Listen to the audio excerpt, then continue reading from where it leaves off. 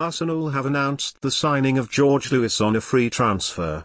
The 20-year-old spent last season at Norwegian side Fram Framlavik. But the attacker was let go from the club and following a trial at Arsenal, he impressed enough to be handed a contract. Lewis will link up with Steve Bould under 23 squad with the aim of breaking into the senior team.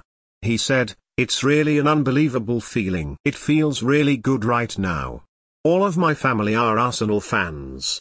When I was growing up, I really looked up to players like Adebayor, he was a really big role model for me, as well as Thierry Henry, and yeah, just to mention some of them. What I hope to achieve is, of course, to play for the first team at Arsenal and get as many appearances and goals and assists as possible.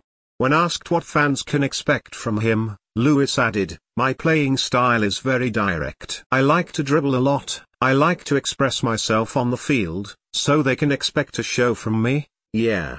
Lewis' arrival follows the signing of 19-year-old Tim Akinola. The midfielder was released by Huddersfield Town last month but caught the eye of Arsenal's academy director Per Mertesacker, who moved quickly to snap him up. Meanwhile, Willian believes Gabriel Martinelli has the quality to be among the best in the Premier League after his breakthrough season.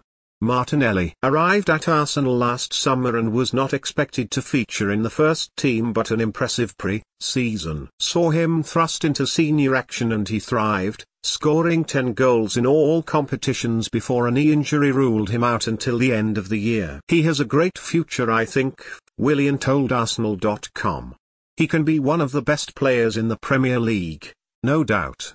It's because of his quality and also without the ball you can see that he is always trying to help his team and do the job without the ball.